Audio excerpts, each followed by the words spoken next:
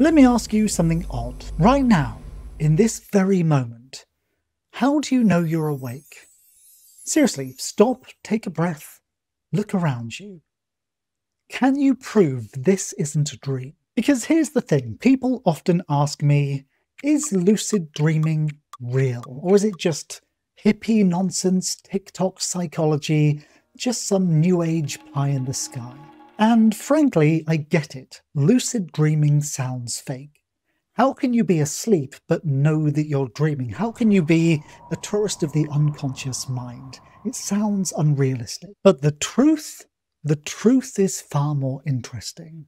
Lucid dreaming isn't just real, it's been proven in the lab, it's been demonstrated with brain scans, and it's even been used for therapy. This isn't a myth, it's a scientifically verified altered state of consciousness. And in today's video, I'm going to explain why. But before we get into that, today's video is sponsored by Aura. Aura is a mindfulness app I've been using as a simple way to switch into a meditative daydreaming mindset. I've put together a 30 track playlist called the Oneironaut, which I use when I want to slip into the daydreaming mindset. It's designed as a 30 day set so you can listen to something new every day and just have a little moment of meditative mindfulness. Aura has lots of useful tools meditation, music, sleep sounds, CBT, breathwork, and it learns from what you like so you're not wading through endless nonsense. If you want to try it out, the first 500 people who sign up with my link will get a free trial and 25% off. And you'll find that in the video description and the pinned comment.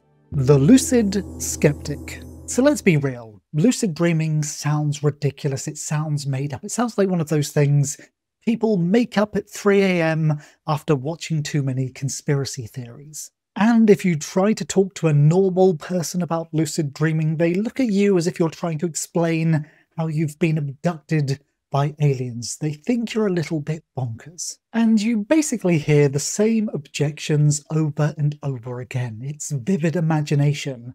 You only thought you were aware, or you're making it up for attention. And honestly, it's a bit of a weird cultural bias because we all accept that dreams happen and that they're strange. But the moment you explain how you're conscious in your dream, suddenly the burden of proof jumps through the roof. And when you think about it, that's really odd because we know we can dream, everyone accepts that, and we all know we can be conscious. So why is it so odd that the two things might happen at the same time? And let's be fair, skepticism is healthy. You should question things. The world is already full of wishful thinking, new age nonsense, and pseudoscience. So you can't blame people for thinking that lucid dreaming belongs in that pile, especially when quite often it's thrown together with New Age subjects. But unlike every single New Age subject out there, lucid dreaming has done something they haven't, that they can't. It's held up under scrutiny, it's held up under the microscope. And when you see the evidence, it's not just convincing, it changes everything. The scientific proof. So, how exactly do you prove that someone is conscious whilst they're dreaming? Because it's not like you can knock on their skull and shout, Oi, mate, are you aware in there? That's not going to work. But science found a way. So, back in 1975, a student called Keith Hearne had a strange idea.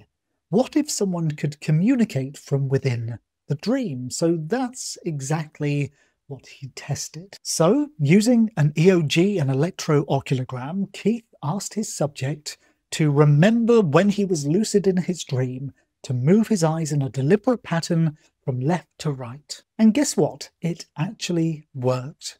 On the morning of April the 12th, 1975, Keith Hearne's subject sent signals from within the dream world to the waking world, deliberate eye movements. This wasn't metaphysical, metaphorical, or imagined. This was hard evidence. Deliberate eye signals sent in real time, recorded on a machine.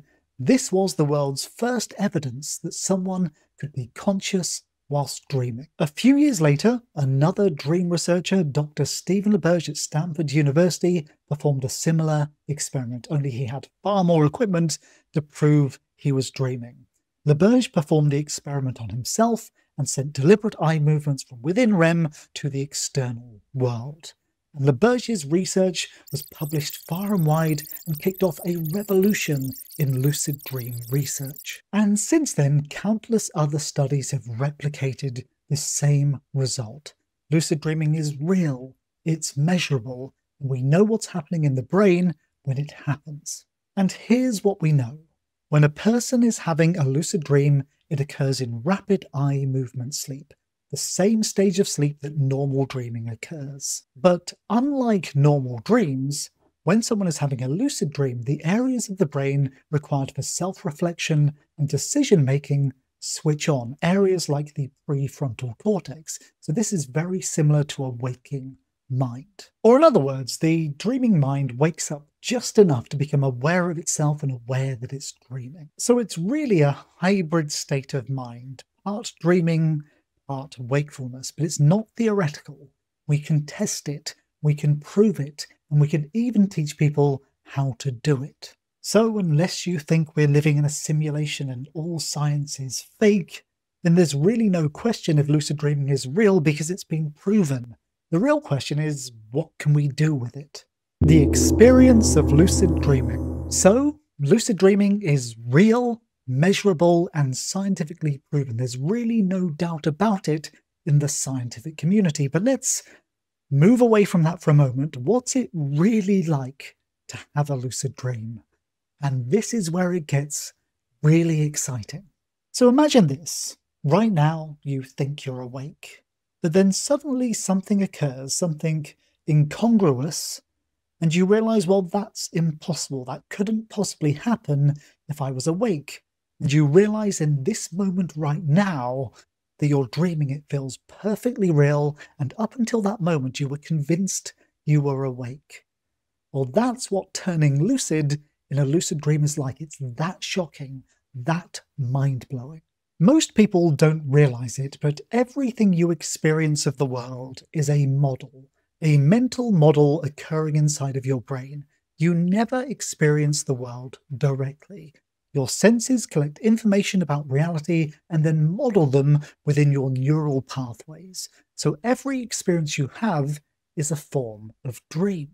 And this is why dreams and lucid dreams feel so realistic because your brain is doing exactly what it's doing right now when you're sleeping. It's modeling the world. Only the dream model of the world isn't constrained by the rules of physics or your senses. So, a lucid dream feels as real as the waking world because it's using exactly the same functions of the mind. Only, unlike the waking world, there are no rules and no restrictions. There is no gravity. You can walk through walls. You can teleport. It's a biological virtual reality with nearly no limits. But unlike virtual reality, this isn't just a sensory simulation, it's also an intellectual and emotional simulation. So you feel completely present. It feels completely real. This is why people have transformative experiences when lucid dreaming. So, as you can imagine, you can have a lot of fun, you can play God and play superhero in the world of lucid dreams, but it goes deeper than that. Because when you stop and think about it, what's really happening? You've just woken up in the landscape of your mind, the universe of the unconscious.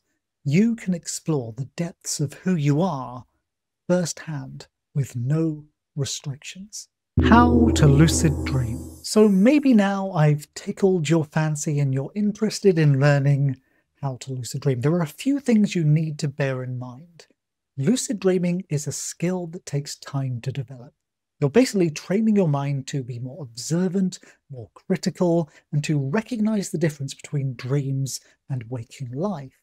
And of course, a skill like that doesn't happen overnight. There are no simple hacks to suddenly upgrade your brain to being hyper aware and hypercritical. It can take many, many months of practice and training, but there are some techniques that can speed up the pace. So I've curated some of the best lucid dreaming techniques you can try tonight, and you can find them on the screen right now. Give these a try, and hopefully Soon you'll have your first lucid dream experience. And whilst you're here, hit that subscribe button. I'll see you later.